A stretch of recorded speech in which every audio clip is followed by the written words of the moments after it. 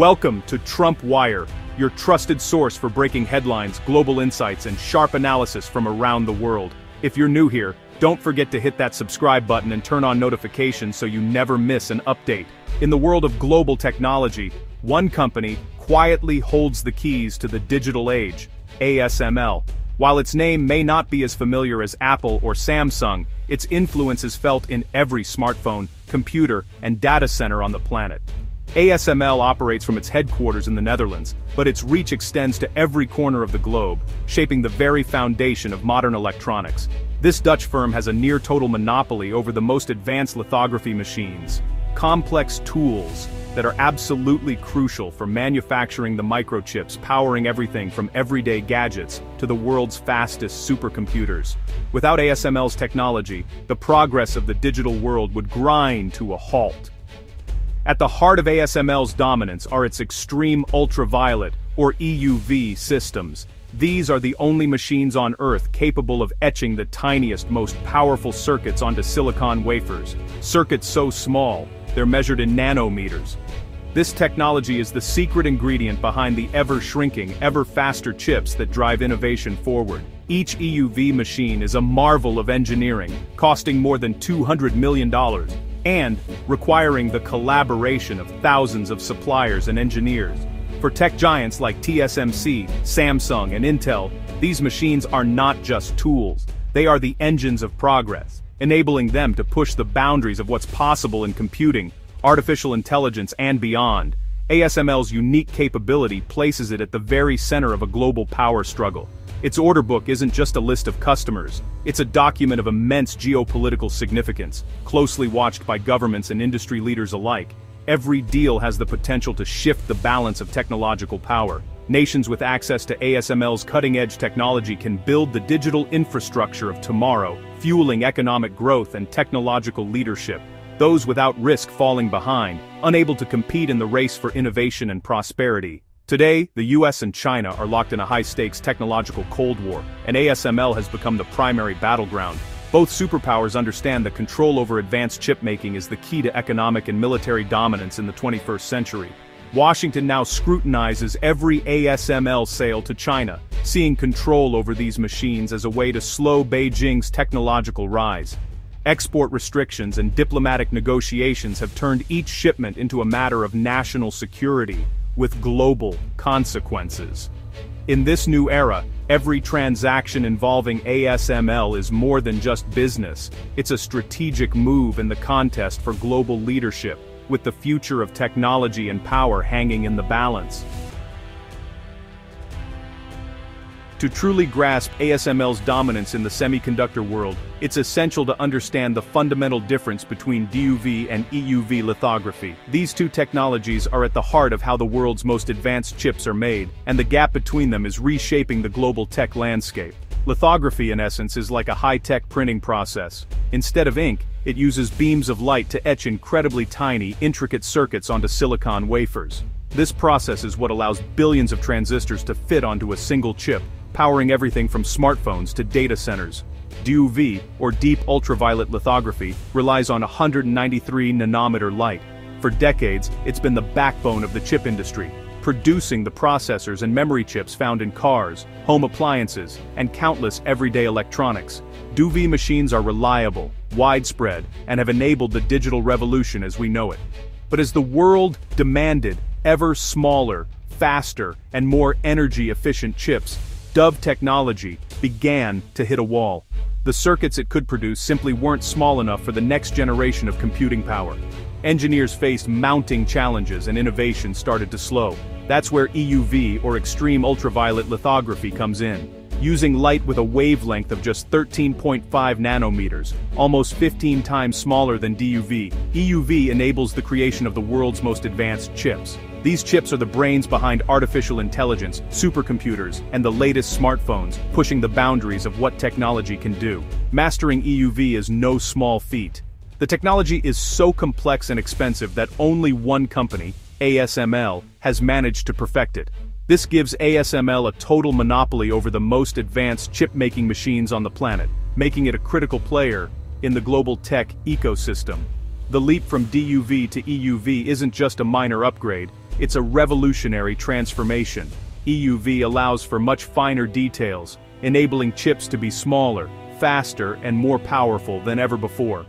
It's a technological breakthrough that's changing the rules of the game. Only countries with access to EUV technology can manufacture the most cutting-edge chips, those restricted to DUV are left behind, unable to compete at the highest level of innovation. This divide is creating a new hierarchy in global technology, separating the leaders from the followers. That's why the United States has placed strict export controls on ASML's EUV systems, making them the centerpiece of a high-stakes technology standoff with China. Control over these machines means control over the future of computing and by extension, global influence. The competition for access to EUV machines is now shaping alliances, trade policies, and the very future of global power. Nations are racing to secure their place in the semiconductor supply chain, knowing that whoever leads in chip technology will lead in the digital age. The technological divide between those with EUV and those without has become a new geopolitical fault line, one that will define the balance of power for years to come. The US has moved aggressively to block China from acquiring ASML's EUV machines, pressuring the Dutch government to enforce strict export controls. The goal, create a bottleneck that slows China's chip-making ambitions and preserves the West's technological edge. While EUV sales to China are banned, older DUV machines slip through the cracks. Chinese firms seized the opportunity, buying up DUV systems to boost their own chip production. This loophole is now under fire, as security experts warn that even DUV technology can aid China's military and AI development. The export wall built by Washington is full of gaps, and the debate over where to draw the line is only intensifying. The race to control chip-making tools is far from over. In a twist, the US has relaxed its own bans, allowing Nvidia to sell advanced AI chips to China, while still blocking ASML's machine sales, this fish versus fishing pole strategy lets China buy finished chips, but not the tools to make them. The result? American firms profit, while European companies like ASML bear the brunt of containment. For China, it's a mixed blessing, access to top chips, but continued dependence on foreign suppliers. The policy exposes contradictions in U.S. strategy, raising questions about whether the goal is security or simply keeping China as a customer. Allies are left confused and the unified front against China is starting to crack. The double standard is fueling discord among Western partners. The sale of ASML's older DUV machines to Chinese firms with military ties has sparked alarm. One buyer, CETC, is deeply embedded in China's military-industrial complex. Another, the Shenzhen International Quantum Academy, is advancing quantum tech flagged as a security risk. ASML insists it follows the law, but critics argue that focusing only on whole machines ignores the risks posed by components and software. The Dutch government allowed these sales, but anxiety is rising. The loopholes in export controls are now a major security concern. Europe is growing frustrated with US policy, seeing it as a double standard that hurts European interests. The US blocks ASML's sales to China, but lets its own firms profit from the same market.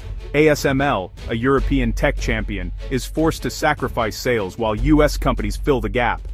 This has triggered calls in the EU for a more independent tech strategy and fairer burden sharing.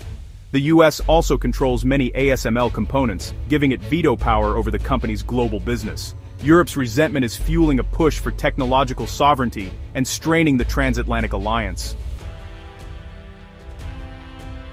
The shifting rules and contradictions in US policy are creating chaos for the global chip industry. Companies like ASML, Nvidia, and TSMC face huge uncertainty, making long-term planning nearly impossible. Billions are at stake in new chip fabs, but sudden export controls can upend investments overnight.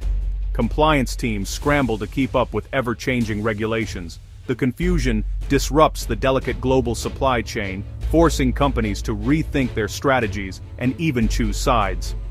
The result? Costly, inefficient decoupling and a fragile system powering the world economy. The semiconductor industry's foundation of global interdependence is fracturing. The stakes for innovation and growth have never been higher.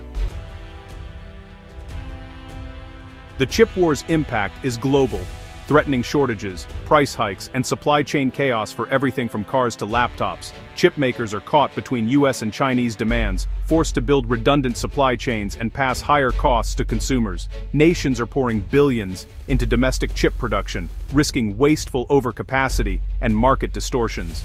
The arms race in semiconductors is accelerating, but at the cost of global collaboration. The industry's strength has always been open standards and shared research. Now, protectionism and division threaten to slow innovation for everyone. The world risks trading short-term advantage for long-term progress. The technologies that connect us are now dividing us. The future of global innovation hangs in the balance. As 2025 draws to a close, the battle over ASML's machines is shaping a divided digital world.